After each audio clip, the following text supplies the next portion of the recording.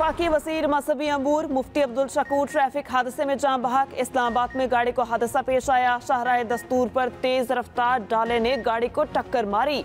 जिस गाड़ी से हादसा हुआ, इसमें पाँच अफराज सवार थे, जिन्हें गिरफ़्तार कर लिया गया।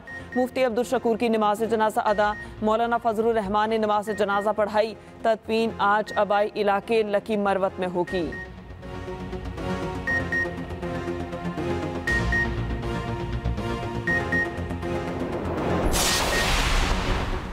बलूचिस्तान के इलाके वुट में खौफनाक हादसा। छह पुलिस एहलकार जहाँ बहाक और एक जख्मी। लेविस हुकाम के मुताबिक हादसा पुलिस सहलकारों की गाड़ी और ट्रक के दरमियान तसादम के बायस पेश आया। अहलकार पुलिस ट्रेनिंग कोयटा से ईद की छुट्टियाँ मनाने अपने घर जिला लसबेला जा रहे थे। मैयतें आबाई इलाके रवाना कर दी गईं।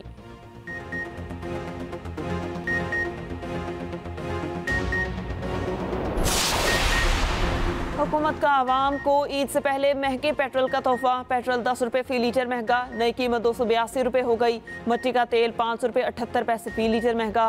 कीमत एक सौ छियासी रुपये सात पैसे पर पहुँच गई। हाई स्पीड और लाइट डीजल की कीमतें बरकरार।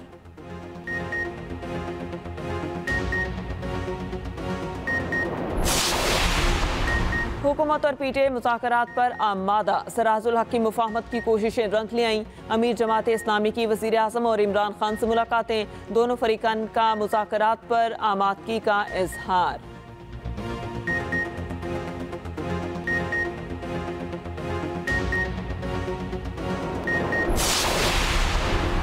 पाकिस्तान ने तमाम शराइत पूरी कर दी। अब आईएमएफ के पास कर्ज ना देने का कोई बहाना नहीं बचा। वज़ीर अजम शहबाज शरीफ कहते हैं 2018 में एक झुल्लू इलेक्शन हुआ। बड़े पैमाने पर धांधली हुई। जस्टिस साकिब निसार ने ऑरेंज लाइन ट्रेन मंसूबे पर भड़ास निकाली। साकिब निसार रास्ता ना रोकते तो इलेक्शन में नून लीग के वारे नयारे होते।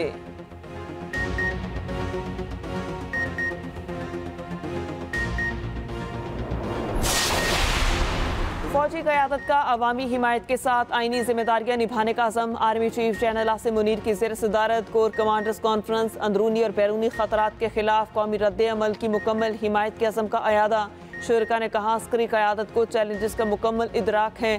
सिक्योरिटी फोर्सेस मगरबी सरहद के साथ वाले इलाके में इंटेलिजेंस की बुनियाद पर कार्रवाइयाँ कर रही हैं।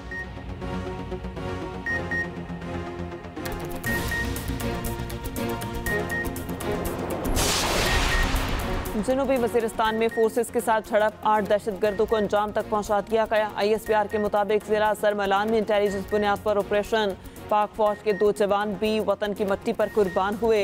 लांस नायक शुएब अली और सिपाही रफीकुल्ला शोहदा में शामिल।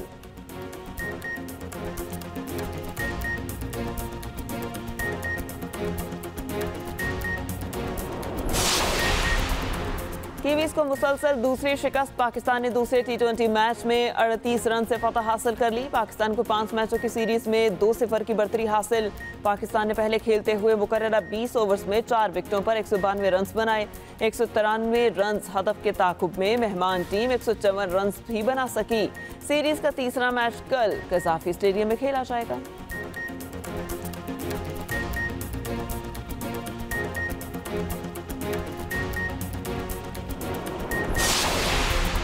और मुल्क के बेशतर मैदानी इलाकों में आज मौसम खुश्क और गर्म रहेगा। महकमा मौसमियात के मुताबिक बलाई खैबर पख्तूखा कश्मीर और गिलगित बल्तिस्तान में चंद मकाम पर आंधी और गरज चमक के साथ बारिश का इम्कान है।